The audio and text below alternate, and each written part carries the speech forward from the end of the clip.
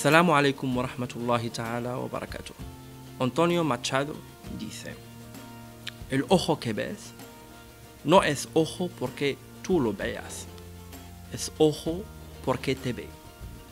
العين التي تراها ليست عينا لكي تراها عين هي لأنها تراك مقولة للفيلسوف والشاعر والكاتب الإسباني أنطونيو ماتشادو اليوم سنتعرف على الشاعر ماتشادو أنا إسماعيل بن حمزة يسعدني بصفتي طالبا بكلية الآداب والعلوم الإنسانية عين شق شعبة الآداب الإسبانية. أن أقدم لكم توطئة لديوان الشاعر الإسباني ماتشادو الذي ترجمه الدكتور والكاتب والمترجم الليبي محمد قصيبات. والطبيب المختص في زراعة القلب.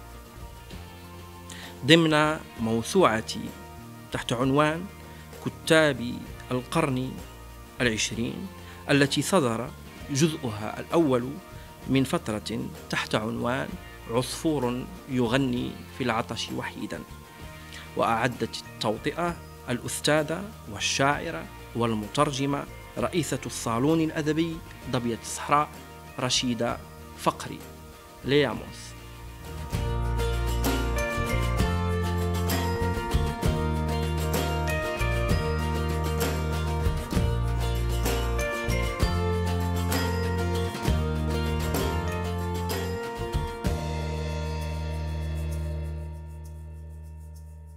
ولد أنطونيو ماتشادو في إشبيليا بالأندلس عام خمسة وسبعين وثمانمائة وألف.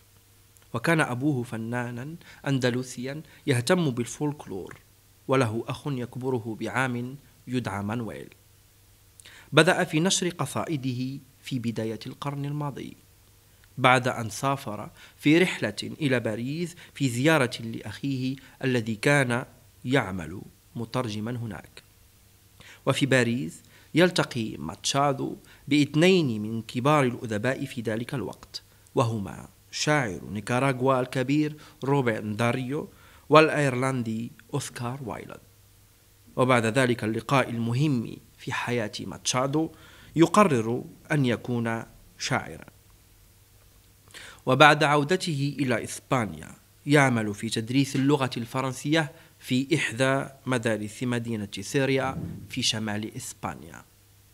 وهناك يلتقي بحبيبة قلبه ليونور التي كتب فيها أجمل قصائده. وهي فتاة تصغره بعشرين عاما يتزوج منها ويذهبان بعد زواجهما للعيش في باريس. وهناك تبدأ مأساة الشاعر.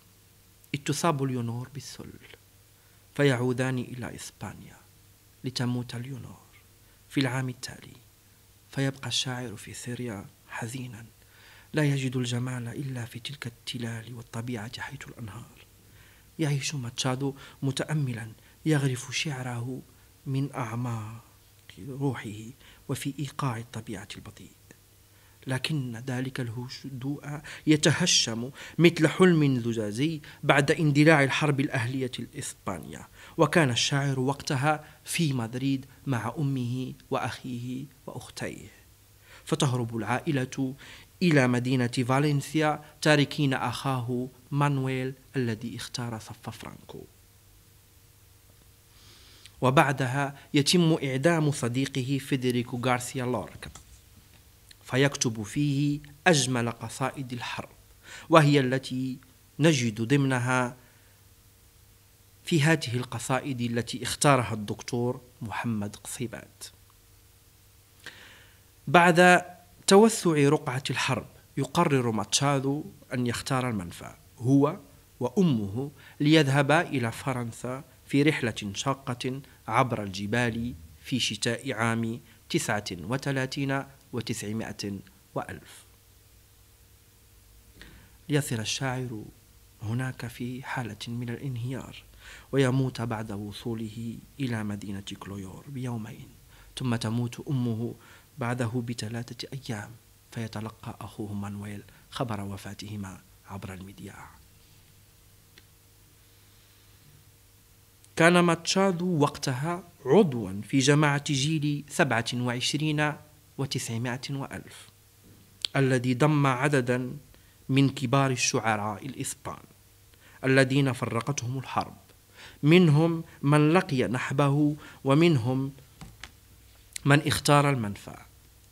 وكان من بين هؤلاء الشاعر رافائيل ألبرتي ولويس سيرنودا وفيسنتي ألكساندري الذي حاز على جائزة نوبل للآداب سنة سبعة وسبعين وتسعمائة وألف. وقد كان ماتشادو قبل ذلك عضوا في جماعة جيل ثمانية وتسعين وثمانمائة وألف. وهو الجيل الذي ولد ردا على هزيمة إسبانيا في حربها ضد أمريكا وهي الحرب التي فقدت فيها إسبانيا مستعمراتها في كوبا وجزر الكاريبي وكذلك الفلبين. لقد أراد ذلك الجيل أن ينظر الإسبان إلى مستقبل أفضل. القارئ العربي لم يقرأ الكثير لماتشادو الشاعر الذي تأثر وأثر في الشعر العربي المعاصر. تأتي ترجمة الدكتور محمد قصيبات لتضيف الكثير حول شعر ماتشادو وحياته. من ضمن القصائد. هناك واحدة يقول فيها في جسدي يجري دم من سلالة التمرد لكن شعري يشرب من ماء الأنهار الهادئة الصافية.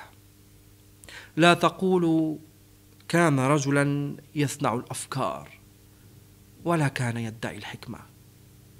قولوا فقط كان رجلا طيبا. وهذا هو أنطونيو ماتشادو الشاعرة رشيدة فقري. شكرا لاستماعكم والسلام عليكم ورحمة الله تعالى وبركاته.